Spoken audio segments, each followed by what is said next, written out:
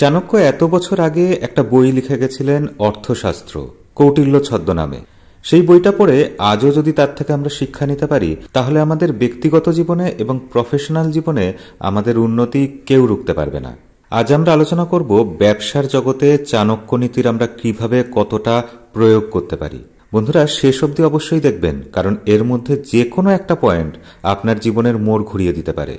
অর্থ মানে কিন্তু এখানে শুধু টাকা পয়সার কথা বলা হচ্ছে না। অর্থ মানে ক্ষমতা, অর্থ মানে শক্তি। শক্তি নানা রকম হতে পারে। যেরকম আপনার জ্ঞানের শক্তি। চাণক্য বলেছিলেন যে আপনি হয়তো বুদ্ধি দিয়ে অনেক টাকা উপার্জন করতে পারবেন, কিন্তু আপনি যত টাকাই খরচ করুন, কোনোদিন তার বিনিময়ে বুদ্ধি কিনতে পারবেন না। এছাড়া শক্তি হতে পারে ম্যান পাওয়ার আপনি যদি বিজনেসম্যান হন বা প্রফেশনাল হন, আপনার যারা কর্মচারী, কলিগ, তারাই আপনার শক্তি। এরপর আসে নৈতিক শক্তি মানে যেটা আমাদের মনের ভিতর থেকে আসে। আর চতুর্থ শক্তি, সেটা তো আমরা সবাই জানি টাকা পয়সার শক্তি। চাণক্য নীতি অনুযায়ী এই শক্তিগুলোকে চালনা করার জন্য একজন লোকের দরকার। সে একজন রাজা হতে পারে, বা আজকের দিনে একজন ম্যানেজার হতে পারে, একজন বিজনেসম্যান হতে পারে, অথবা পার্সোনাল লাইফে বাড়ির গৃহকর্তা হতে পারে। এর মধ্যে যদি কোনোটাই আপনি হয়ে থাকেন, তাহলে আপনার মধ্যে কয়েকটা গুণ থাকা উচিত। প্রথম গুণ, আপনার মধ্যে সিদ্ধান্ত নেওয়ার ক্ষমতা, বিশেষত দ্রুত সিদ্ধান্ত নেওয়ার ক্ষমতা থাকা চাই। একবার এক সাকসেসফুল ব্যক্তিকে জিজ্ঞাসা করা হয়েছিল যে, আপনি কি করে এত সাকসেসফুল হলেন? তিনি উত্তর দিয়েছিলেন যে, সময় মতো ডিসিশন নিয়ে। তখন তাকে পাল্টা প্রশ্ন করা হলো, আপনি কি করে নিশ্চিত হতেন যে আপনার ডিসিশন ঠিক? তিনি উত্তরে বললেন, আবার একটা সিদ্ধান্ত নিয়ে। আপনার এই সিদ্ধান্ত নেওয়ার ক্ষমতাটা কিন্তু খুব ইম্পর্টেন্ট কারণ আপনার সিদ্ধান্তের ওপর অনেক কিছু নির্ভর করছে। পরের পয়েন্টে আসি। একবার একটা বাচ্চার ভুলে তাদের বাড়িতে আগুন লেগে গেছিল।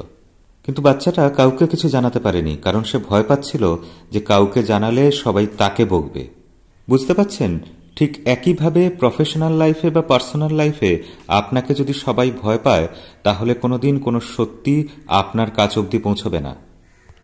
কাকে কতটা শাসন করতে হবে, কাকে কতটা শিক্ষা দিতে হবে, কাকে কতটা চাপ দিয়ে কাজ করাতে হবে, এর সিদ্ধান্ত আপনাকে নিতে জানতে হবে।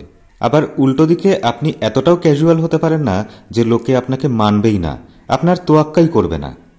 জীবনের সেই ব্যালেন্সটা বজায় রাখতে হবে। প্রয়োজনে লোককে শাসন করুন, শিক্ষা দিন। আবার একই রকমভাবে তাকে প্রশংসা করুন বা কিছু পুরস্কার দিন। তবেই আপনি সবার থেকে সম্মান পাবেন আর একজন সফল মানুষ হওয়ার দিকে এক ধাপ এগিয়ে যাবেন। পরবর্তী পয়েন্ট সফল হতে গেলে সব কাজ আপনি একা করতে পারবেন না। আপনাকে অন্যের ওপর ভরসা করতে হবে, তাদের দায়িত্ব দিতে হবে মানুষ দায়িত্ব পেলে তবেই নিজের মতো করে প্রাণপণ খেটে কোনো কাজ উদ্ধার করে দেওয়ার চেষ্টা করে। তবে কাজটা কিন্তু অন্যদের ওপর শুধু ছেড়ে দেবেন না, তার উপর আপনার নজরদারিটা যেন ঠিক মতো থাকে।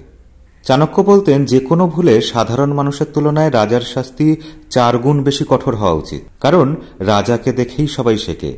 ঠিক তেমনি আপনাকে দেখে আপনার চারপাশের মানুষরা শিখবে। আপনি যদি তাদের সামনে উদাহরণ হয়ে দৃষ্টান্ত হয়ে না থাকতে পারেন, তারা কখনো মোটিভেটেড হতে পারবে না। আপনি যদি সফল হতে চান, আপনাকে কিন্তু ম্যাক্সিমাম রেসপন্সিবিলিটি নিতে হবে। কথায় বলে না, যেমন রাজা, তেমনই তার প্রজা। তা আপনি যদি রাজাই হবেন, তাহলে রাজার মতো আপনাকেও বিশেষ কিছু দিতে হবে। শেষ পয়েন্টে বলব, আমাদের কোনো রিলেশনশিপ বা কোনো ডিলে যদি দুই তরফেরই লাভ না হয়, তাহলে সেই ডিল কখনোই টেকে না। তাই ব্যবসা করতে গেলে শুধু নিজের ফায়দার কথা ভাবলে হবে না। চেষ্টা করতে হবে যাতে অন্যরাও লাভবান হন। মানসিকতা রাখতে হবে সবাইকে নিয়ে চলার। যখন দেখবেন আপনার প্রতিপক্ষ আপনার থেকে শক্তিশালী, তখন আপনার ওই আশেপাশের মানুষরাই আপনার শক্তি বাড়াবে। তাহলে সফল হন আর বড় হন। আর আমাদের চ্যানেলটাকেও বড় করার জন্য নিচের সাবস্ক্রাইব বাটনটির সাথে বেল আইকনটা প্রেস করে রাখবেন। নিচে লাইক আর কমেন্ট করতে দ্বিধা করবেন না। আপনারও ভালো লাগবে, সাথে আমারও খুব আনন্দ হবে। আজ তাহলে এই অবধি। বিদায়।